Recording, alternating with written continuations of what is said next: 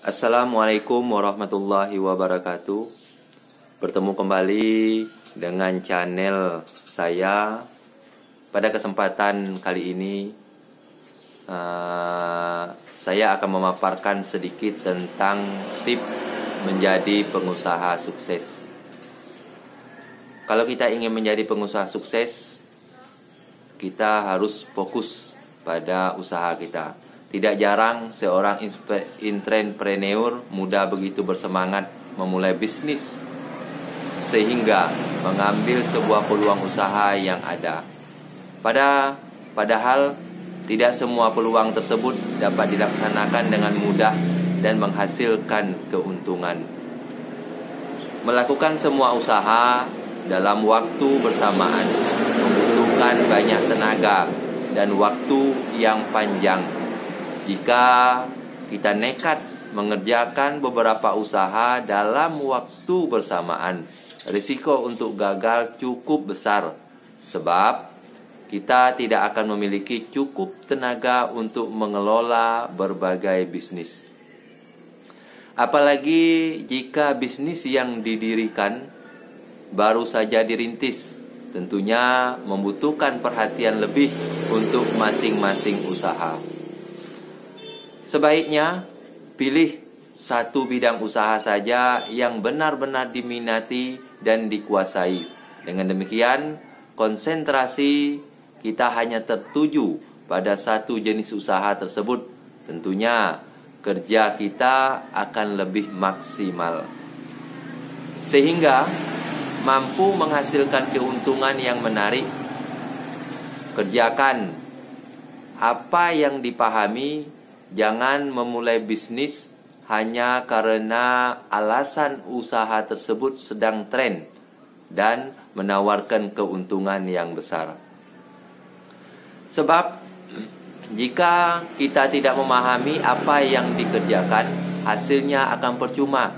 Lebih baik melakukan sesuatu yang benar-benar dikuasai dan disukai.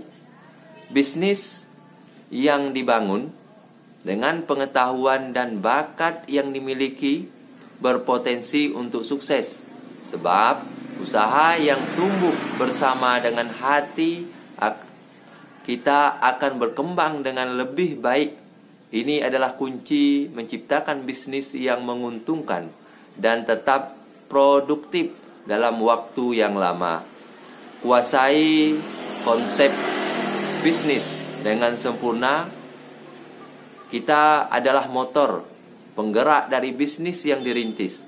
Jadi, perlu menguasai konsep bisnis dengan baik agar pengembangan usaha tidak keluar dari tujuan awal mendirikan bisnis.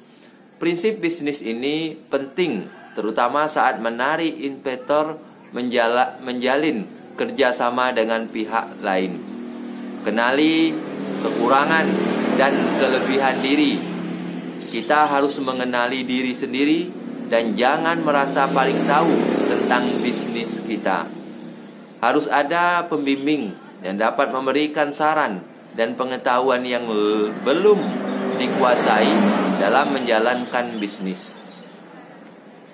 Bertemu dengan entrepreneur sukses dapat menjadi pendorong bagi kita untuk meraih sukses, belajar dari pengalamannya, dan mendengarkan nasihatnya, membantu bisnis kita menjadi sukses.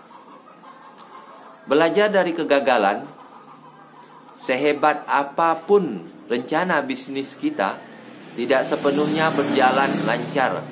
Saat kegagalan datang, jangan mudah putus asa, dan mudah berganti bisnis. Tetap fokus. Jangan pula menunggu terlalu lama untuk mencoba peluang bisnis baru. Yang paling penting adalah belajar dari kesalahan dan tidak mengulangi kesalahan yang sama. Sukses mengembangkan usaha menjadi seorang pengusaha sukses dilihat dari usaha yang berkembang tidak mudah melakukan hal tersebut sebab memerlukan kerja keras dan kesabaran. Selain itu, butuh strategi bisnis yang mumpuni agar bisnis yang dirintis dapat disebut sukses.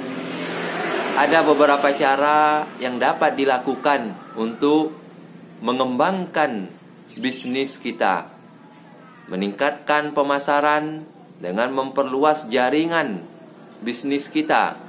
Cara paling ampuh untuk memperluas pemasaran adalah dengan mengenali target pasar dengan baik.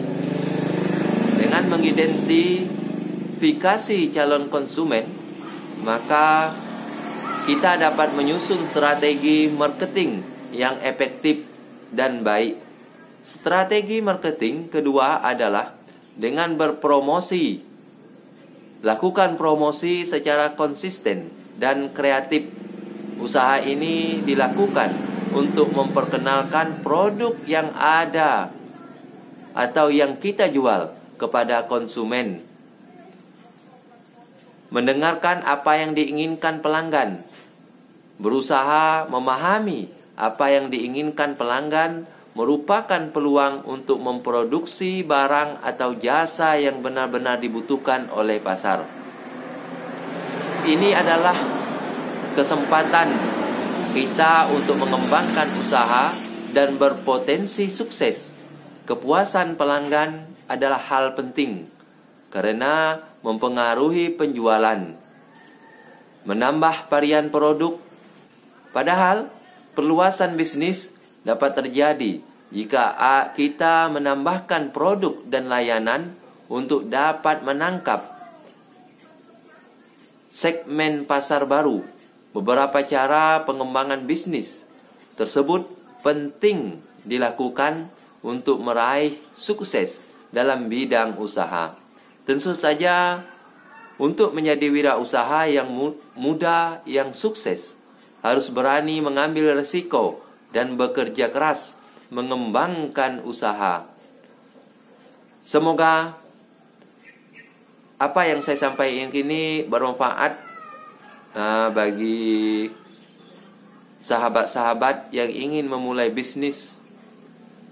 Baik itu bagi sahabat-sahabat yang baru merencanakan bisnis atau baru mulai uh, melakukan bisnis, kita harus fokus kepada bisnis apa atau usaha apa yang kita lakukan tadi. Uh, jangan kita uh, melakukan bisnis mengikuti tren, sedangkan kita tidak bisa uh, fokus kepada bisnis tersebut. Lebih baik kita melakukan bisnis yang bisa kita jalankan secara maksimal. Uh, selanjutnya, kita jangan cepat berputus asa di saat kegagalan uh, mengikuti kita, karena setiap kegagalan tersebut itu adalah awal untuk kita belajar agar kita bisa menjadi baik bisa menjadi sukses. Mungkin hanya itu tip yang dapat saya sampaikan kali ini. Semoga bermanfaat. Lebih dan kurang saya mohon maaf apabila ada salah baik dari sengaja atau tidak sengaja dan saya akhiri dengan ucapan wabillahi taufik wa hidayah wassalamualaikum warahmatullahi wabarakatuh. Bye bye.